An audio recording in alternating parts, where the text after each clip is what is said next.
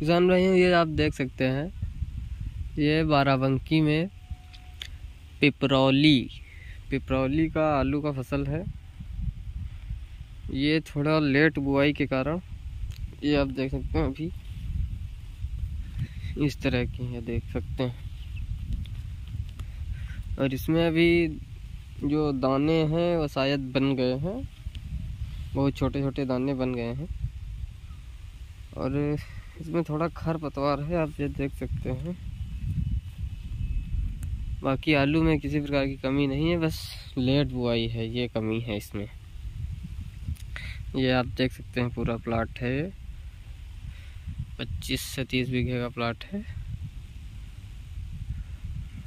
और ये सरसों लगी हुई है बगल में। और उसके बाद फिर से आलू है। और इधर आप देख सकते हैं, ये भी आलू लगा हुआ है, ये इससे कुछ दो चार दिन पहले का है।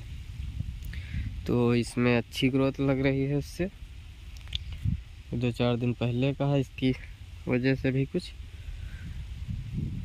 और आप देख सकते हैं, इसमें स्प्रे किया जा रहा है, स्प्रिंट प्लस एम्बिशन का। स्प्रिंट जो इसमें स्प्रे किया जाना है, आप ये पौधा देख सकते हैं, किस तरह का पौधा है। ये देख सकते हैं, इतना मोटा पौधा है और ये गिरने वाला है बिल्कुल। कहीं कहीं पर छोटा है, लेकिन ज़्यादातर जगहों पर बड़ा है और गिरने वाला है। ये आप देख सकते हैं।